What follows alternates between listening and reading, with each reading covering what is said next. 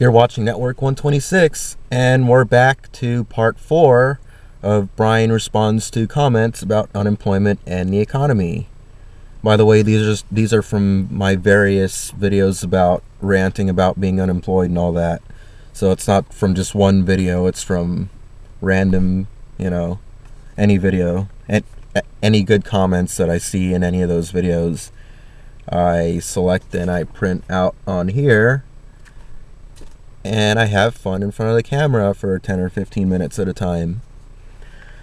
So, um, I am, uh, I left off at big Christina Aguilera fan. Uh, Pyramid Head 138 says,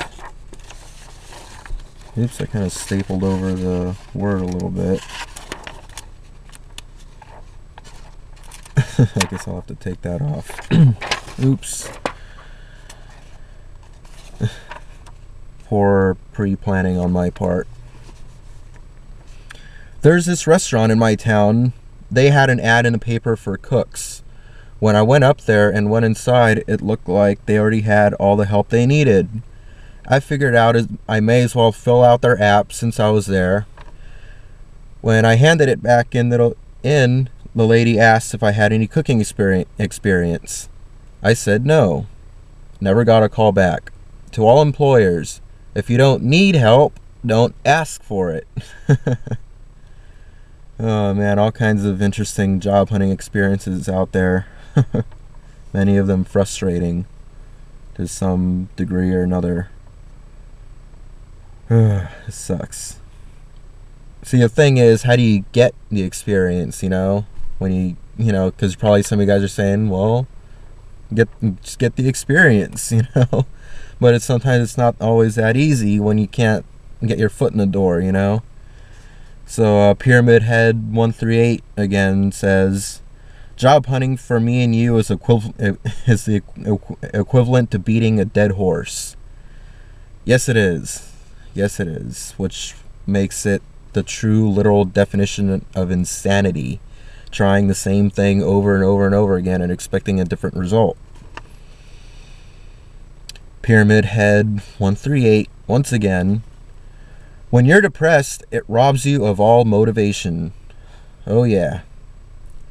Anyone who's gone through that crap would know what I'm talking about. I know what you're talking about.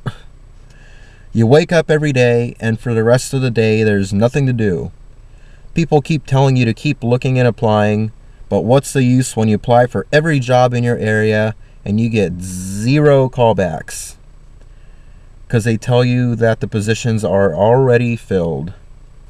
It tells me that the lying pricks never needed help to begin with. yeah, it sure seems that way. Either they don't really need the help to, to begin with, or they put out the word that they're hiring, and everybody and their mama and grandma comes and applies, and pretty soon they get flooded with like.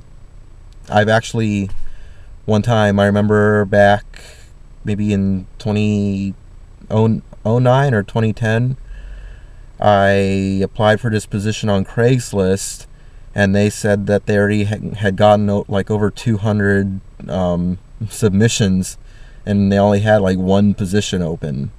200 for one position.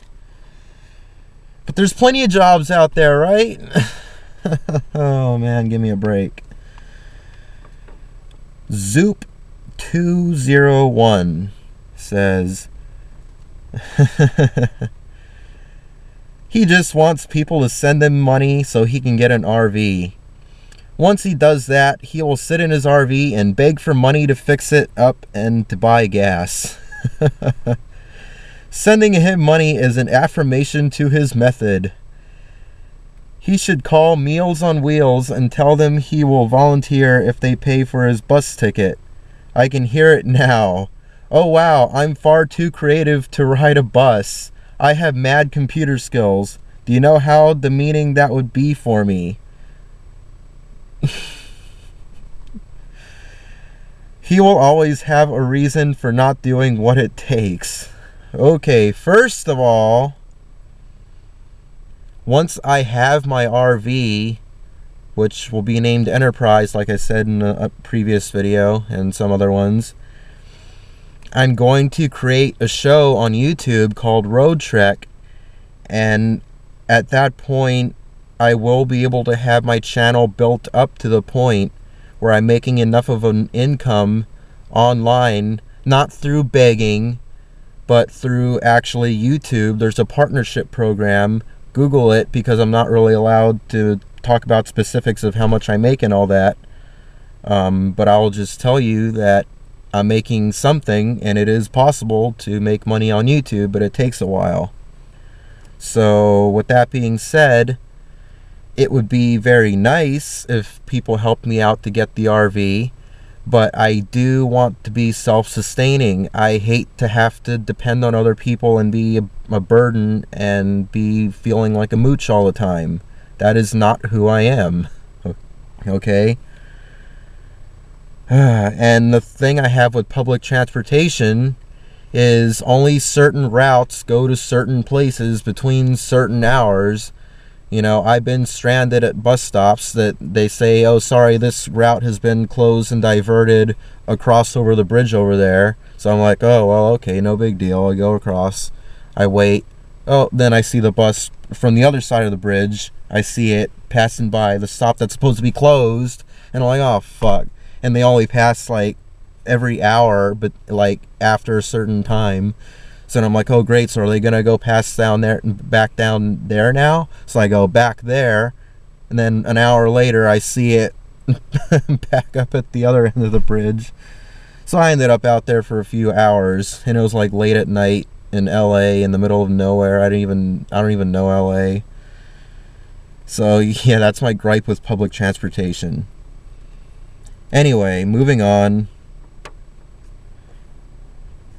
Cookie Cutter Hour Zero says, oh, this is kind of a response. Um, he just wants a job, like any other person who's been unemployed through no fault of their own. I do volunteer work as a tutor at a nonprofit group, and I still haven't gotten a job through them yet, despite ap- applying three times for a job. It's very frustrating out there. Thank you, Cookie uh, Cookie Hour Zero. uh, the next door neighbors probably think I'm crazy filming in my car. I've got my studio lights and everything all set up in here. I'm sure I'm putting on quite a spectacle for them. Anyway, moving on. No Pro Go Pronto. all kinds of creative usernames. Brian, volunteering is not about working for free. It's about taking your mind off of yourself for a minute to help someone else. I have a full-time job, but I also volunteer on with Meals on Wheels to deliver on foot food to elder to elderly people who are stuck in their homes or volunteer at farmers mark at a farmers market to get free fresh produce for someone who thinks he's so smart. Oh man, I just love some of these commenters, even though they like to try to poke at me. Um, first of all, um, the farmers market thing I can see a benefit to because at least you're getting food out of it to sustain yourself. But see, you have a full time job. You know, you can afford the extra resources to to be able to, to get around the places or do whatever you need to do or because you know, also when you're doing more physical activity you get hungrier and so you want to eat more. Well guess what? That costs more money. So volunteering can actually end up costing you money if you're not getting anything out of it. So yes farmers market if you get free fresh produce i can see the point in that. Okay um, so moving on, Biff George, one of my favorite commenters, for good reasons. Um, the official unemployment rate is completely and totally irrelevant. It no longer gives an accurate picture of how many Americans are really unemployed. The official unemployment rate is akin to a broken speedometer on a car. Completely useless. Nobody driving a car with a broken speedometer bothers to look at it to get an idea of how fast they are driving. Instead, they use their eyes and ears to get an idea of how fast they are driving. It's just common sense, folks. Yes, it is, Biff George. Yes, it is.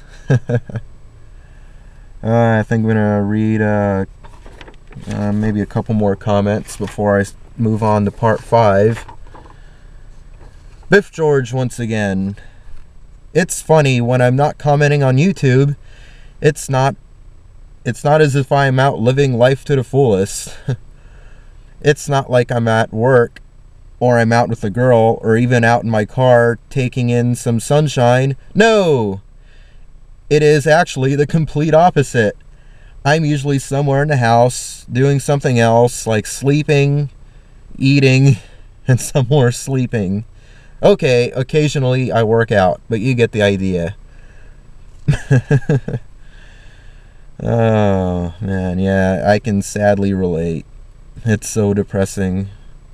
I find myself like wanting to sleep in so late sometimes just to stay stuck in the dream world. Because it, it, it, this sounds sad and pathetic, but yeah, at least in the dream world, I don't have to make money to do things and get out and go on adventures. Which uh, a lot of my dreams, I only remember bits and pieces, but a lot of them seem to center around like going on some adventure or going somewhere, some weird place that I haven't been to before. But it's they're at least they're interesting, you know. At least I'm out of the house, and I'm not worrying and stressing about being broke and unemployed.